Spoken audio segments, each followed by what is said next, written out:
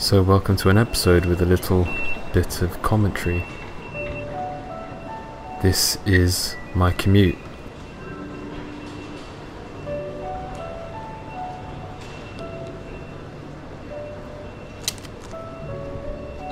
But I've replaced one leg on the underground with a 25 minute walk. There it is. That's my tip. And maybe you'll get a few shots here and there, but ultimately, you'll get to practice.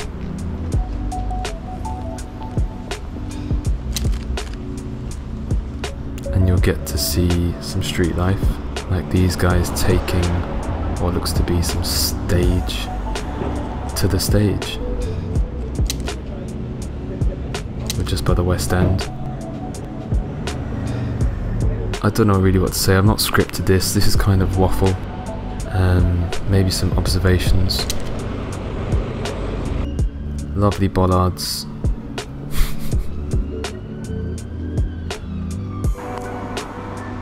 so London at 7.50am on a June, July, May day is glorious, especially if it's sunny and the Portland stone is shining. And it's just peaceful. Honestly, I started doing this in January and it's made my commute genuinely enjoyable. I'm not dreading it anymore, not being told to move down the train as much. You get to isolate subjects at this time in the morning, no one's really out at this time.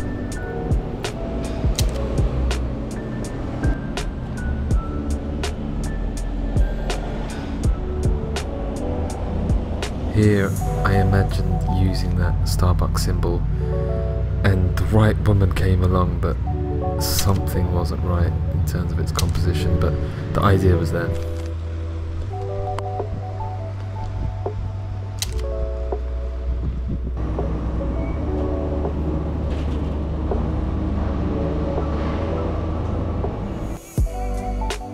kind of got a thing for street lamps, I think. I just. Can't help myself.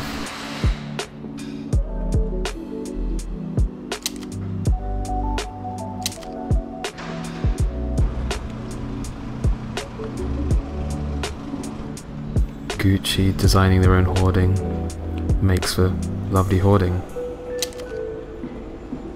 But that triangular pocket of light, I mean, I just had to wait for someone, of course.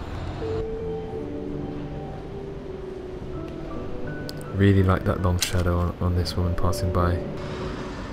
And then, what do you know, I end up at work. Easy.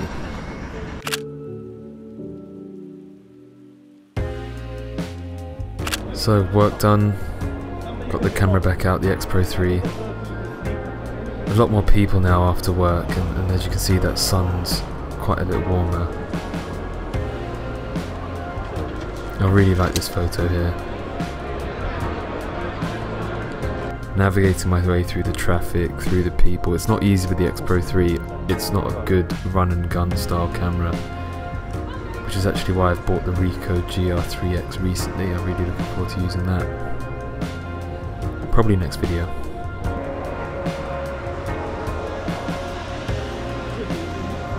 Not enough space to compose until I get to this pocket in the sun and Mr. Thumbnail walks along in his lovely chocolate suit. And how could I not take a photo of a couple of tourists looking a bit bewildered at a map? It's customary.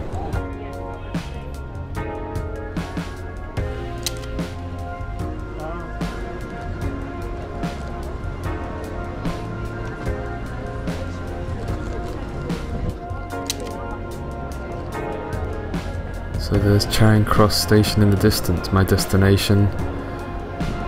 Just gotta navigate my way through literally about 300 American high school students.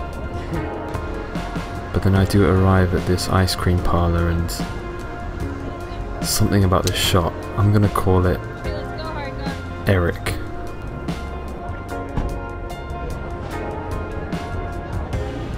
And we're back at Charing Cross, off to get a train back home. It was a good session, made the commute enjoyable, broke up the day. I advise you all to do the same if you can. Subscribe if you can, if you want. See you next time.